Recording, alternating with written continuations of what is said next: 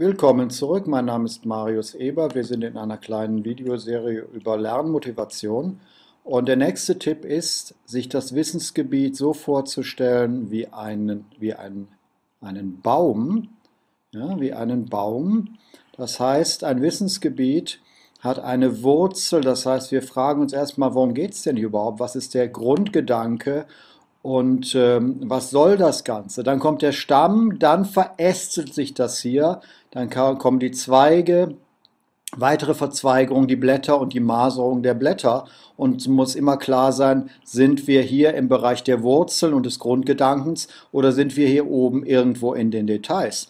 Die meisten Lehrbücher arbeiten das gar nicht klar heraus und viele Lehrer auch nicht. Das heißt, die steigen irgendwo hier ein das ist das erste Problem. Und das zweite Problem ist, dass sie nicht sagen, dass sie hier oben einsteigen.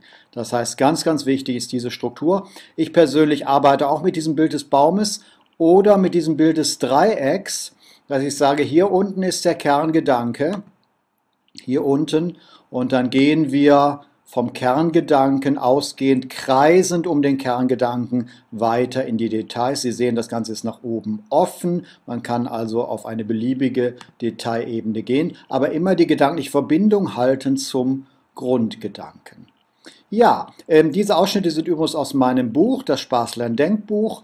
Und wenn Sie meine Video-Coachings interessieren, schauen Sie mal unter spaßlerndenk-shop.de. Mein Name ist Marius Ebert. Dankeschön.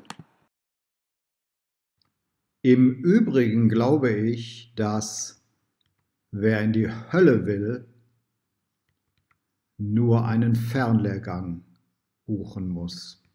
Wollen Sie hingegen lernen, ohne zu leiden, dann klicken Sie mal auf den Link unter diesem Video. Alles Gute, Marius Ebert.